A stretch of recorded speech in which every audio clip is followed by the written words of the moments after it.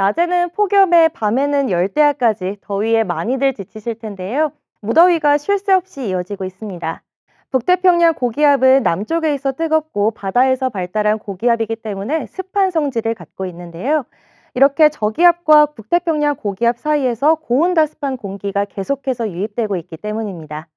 전 지역에 폭염특보가 발효 중인 가운데 내일은 작은 더위라 불리며 본격적으로 더위가 시작된다는 절기 소서입니다. 내일도 무덥겠고요.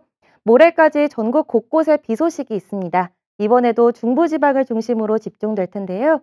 우선 내일까지 수도권과 강원에 20에서 60mm의 비가 예상되고요. 많게는 80mm 이상 쏟아지겠습니다. 광주와 전남에는 내일 밤부터 비가 내리는 곳이 있겠습니다. 내일보다 모레 더 많은 양의 비가 내릴 전망이고요. 모레 오후까지 최대 60mm의 비가 예상됩니다. 자세한 기온 살펴보면요. 서울은 아침 기온 27도 보이겠고요. 한낮 기온은 춘천 31도, 대구와 제주 34도 예상됩니다. 다음은 자세한 우리 지역 날씨입니다.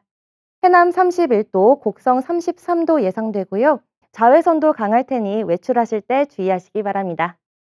서해남부 먼바다에 풍랑 예비특보가 발표됐습니다. 물결이 최고 4m까지 매우 높게 일겠고요. 안개에도 유의하셔야겠습니다.